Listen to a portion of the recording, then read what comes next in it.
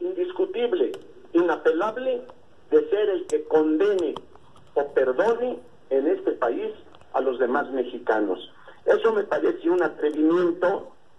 que no deberíamos permitir, porque para perdonar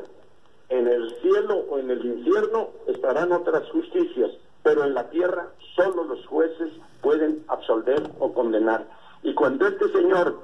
en realidad habla de amor y paz y al mismo tiempo injuria, habla de que ya va a sacar su pañuelito blanco, pero se va contra el secretario de la defensa y se toma la licencia de decirle que se ponga a trabajar el general secretario, que no ha hecho otra cosa en su vida más que estar trabajando con honor y con valor desde la Secretaría de la Defensa como soldado mexicano en favor del pueblo de México, me parece un atrevimiento que no debemos perdonar. En lo único que coincido con López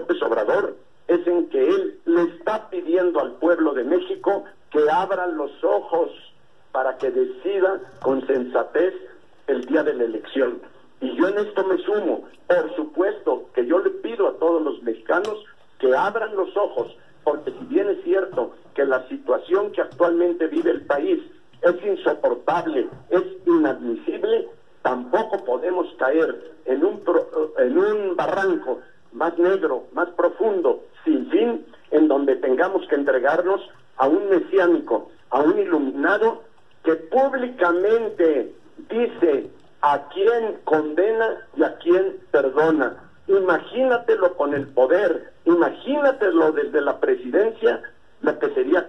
capaz de hacer este sujeto. Por eso yo creo que estamos en tiempo, como él mismo lo dice, de abrir los ojos para decidir, no en función de afectos o desafectos, de odios o de amores, sencillamente de hablar y de decidir en favor de México.